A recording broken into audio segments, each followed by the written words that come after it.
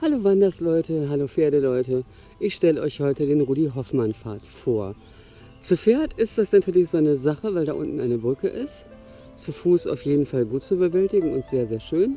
Und hier bei der Begrüßung filme ich gerade mit 4K, aber folgt mir jetzt einfach mal auf diesen unheimlich schönen, verwunschenen Pfad. Noch bin ich auf der Eiwachstraße. Wenn ihr dieses Stromhäuschen seht, wisst ihr, dass ihr richtig seid geht halt immer geradeaus und macht es genau wie ich und geht diesen Rudi Hoffmann Weg über die Brücke da unten.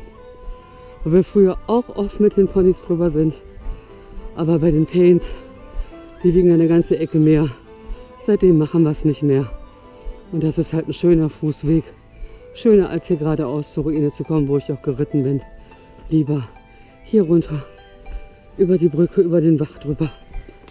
Da geht die Lucy gerade über die beiden Brücken drüber, geht er ins Wasser rein, Spielkind. Und wenn ich mal mit den Pains hier bin, dann reite ich eigentlich hier quasi durch. Sind die zwar auch nicht so begeistert von, aber mit so schweren Pferden über so kleine Brücken. Aber idyllisch ist es schon. Und vielleicht finden sich ja sogar ein paar Wanderer, die meine Videos gucken. Das ist halt wirklich unheimlich toll. Jetzt geht es da diesen Berg hoch, ein Trampelpfad. Lucy im Wasser. Ich zeige euch noch eben wo ich dann ins Wasser reingehen würde mit zu Pferde. Und zwar wäre das hier. Also bis jetzt sind sie eigentlich immer hier ganz gut durchgegangen. Da vorne ist es nicht ganz so steil. Aber hinten im Schlamm haben sie mal ein bisschen Theater gemacht, aber das ging. Kommt halt aufs Pferd an. Und klitzekleine Pferde kriegt man auch über die Brücke. Und da stängelt sich das Bächlein hier so durch die Landschaft. Da oben ist die Straße Richtung Eibach. Und wer hier lang geht, kommt im Endeffekt auch in Eibach an. Schöne Sicht, die ich euch unbedingt noch mal zeigen will. Da wieder das Bächlein unten. Und hier geht es den Pfad entlang. Richtung Ruine Eibach.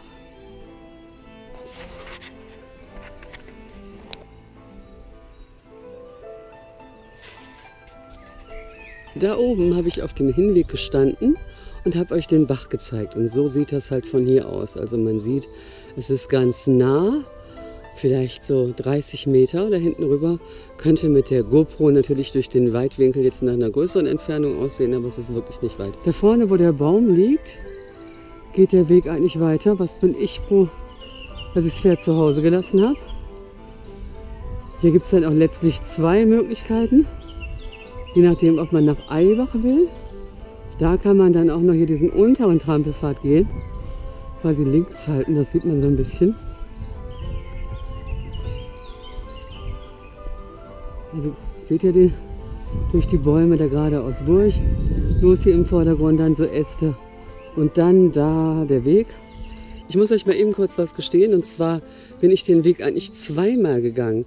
Und zwar einmal bin ich da hoch weil ich ein Stück vom Sagenweg zu Fuß gehen musste, der mir noch fehlte, der zur Pferde halt einfach nicht ging. Da habe ich euch dann hier auf das Gehölz aufmerksam gemacht. Und hier geht dann der Rudi Hoffmann Pfad wieder. Den anderen Weg bekommt ihr, äh, findet ihr im Zirkus- und Vlog-Kanal als äh, ungekürzt. Sagenweg ungekürzt oder ungeschnitten. Sagenweg ungeschnitten, so heißt er, glaube ich. In der Playlist mit den Badewannenvideos auch zu finden. Da sind mehrere lange Videos. So, wir gehen jetzt hier diesen Pfad entlang. Ich habe euch dann auch noch, als ich diesen Sagenweg gefilmt habe und eigentlich schon fast an der Ruine Eibach war, habe ich euch noch zwei Alternativwege gefilmt.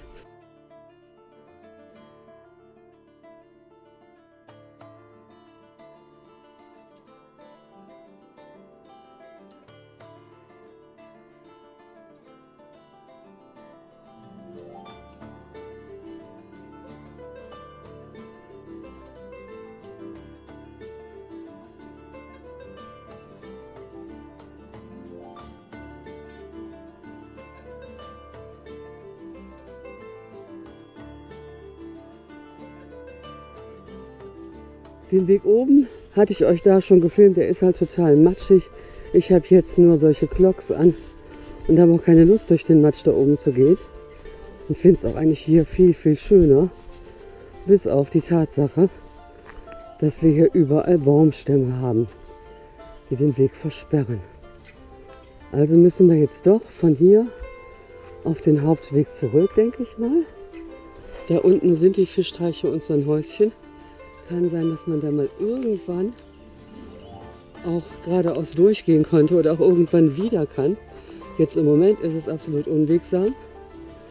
Hier ist dieser Hauptweg, der mir zu matschig war. Und da sind wir wieder. Können also anscheinend nicht unmittelbar auf diesem Schotterweg hier gehen.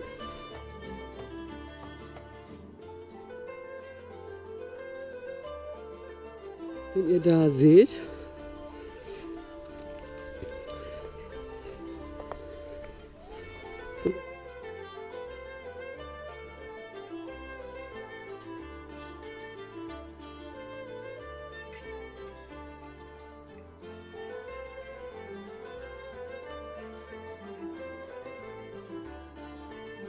Und hier geradeaus entlang kommt ja auf die Kreuzung, wo ich diese Gänse gesehen habe.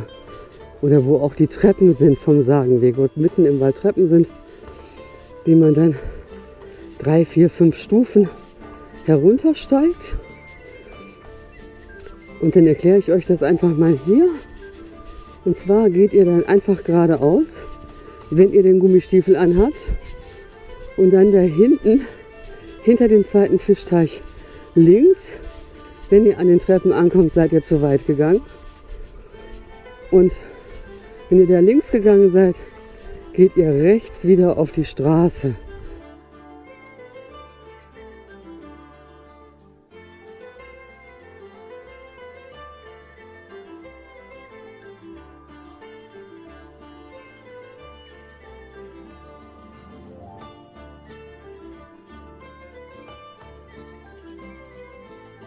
Gesagt, zweite Möglichkeit ist da hinten durch, links und rechts. Wir gehen aber hier runter, machen uns, uns einfacher, machen uns die Schuhe nicht so schmutzig und gehen zwischen den Fischteichen entlang. Oberhalb von dem, wo das Wasser rauskommt, ist noch ein klitzekleines Teichlein. Und da habe ich äh, die Tage Gänseküken gefilmt und mache euch da eine Eibach-Playlist, weil das alles hier ja in der Nähe von Eibach ist.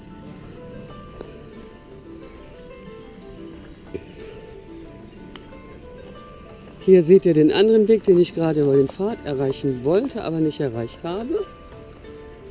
Da oben ist der Weg, den ihr gehen könnt, wo ich gesagt habe, erst links, dann rechts. Und wir gehen über diese kleine Brücke hatte ich schon gesagt, dass diese Aufnahme wieder mit 4K aufgenommen ist und mit der GoPro am Handgelenk. Und endlich bin ich bei diesem Video auch darauf gekommen, dass der kostenlose Movie Maker auch eine Videostabilisierung hat und werde das jetzt in Zukunft auch immer mit einbauen. Man lernt ja nie aus. Hier geht es wieder so einen kleinen Pfad hoch.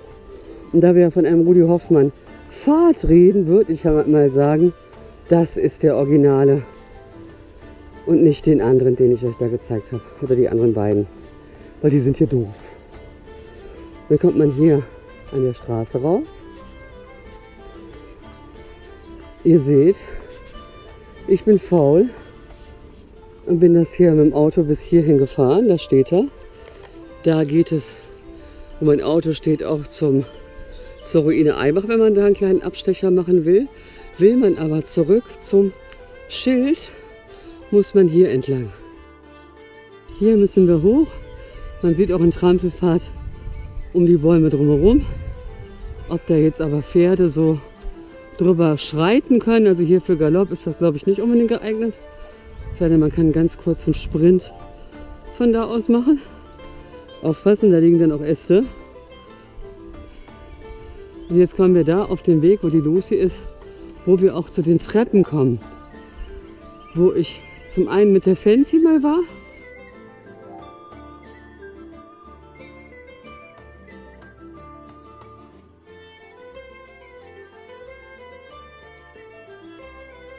Wäldchen. Geht geradeaus. Und am Ende, nach dem ersten Fischteich, links oder auch vor dem Fischteich, links, um wieder rechts auf die Straße nach Eibach zu kommen. Da lagen neulich keine Bäume. Da habe ich irgendwann mal den Lucky wieder eingefangen. Und das war so. Ich bin mit einer Freundin hier über diesen Weg geritten und da waren irgendwo Erdwespen. Irgendwo an dieser Stelle. Wir sind total zerstochen worden. Der Lucky hat gebuckelt, ist losgeschossen. Ich bin runtergeflogen, dann galoppierte der halt los und ist dann bis da vorne hin. Und dann habe ich gedacht, oh Gott, oh Gott, den kriegst du nie wieder. Der Hund kläffte noch hinter ihm her. Dann habe ich gepfiffen und Lucky gerufen, der ist angehalten. Sie hat sich umgedreht und auf mich zu. Eines der schönsten Erlebnisse, die ich mit dem Lucky jemals hatte.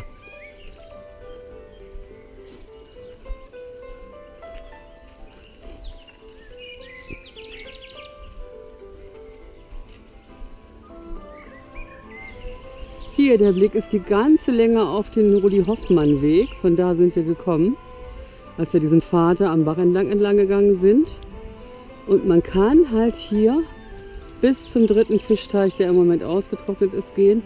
Und dann links, also geradeaus geht es zu Treppen. Da kommt ja nicht zur Ruine Albach, sondern da links und danach rechts hinter dem Teich zur Ruine Albach. Und jetzt mal mit dem Auto die Handgelenkskamera. Von hier aus sieht man ja den Rudi Hoffmann Pfad. Und ich darf jetzt keinen Gegenverkehr bekommen, wenn ich das auf dem Rückweg mal von hier filme. Ich experimentiere mir hier ein zurecht. Da sieht er, wie er bergab geht. Hoffe ich. Also ich sehe das hier. Aber meine Augen haben ja keinen Weitwinkel.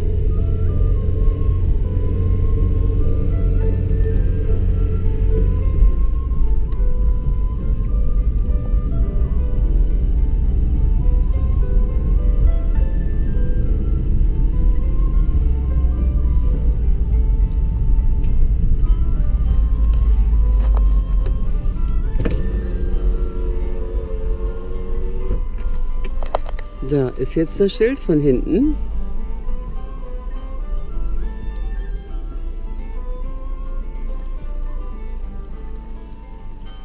Und dann bedanke ich mich fürs Zuschauen und sage bis zum nächsten Mal. Bleibt noch dran, guckt euch die Playlist an und die Aufnahmen, die jetzt im Video keinen Platz gefunden haben.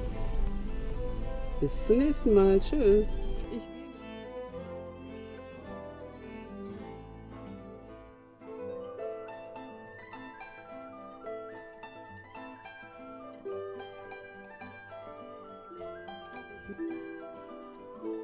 Bedanke mich fürs Zuschauen und sage bis zum nächsten Mal.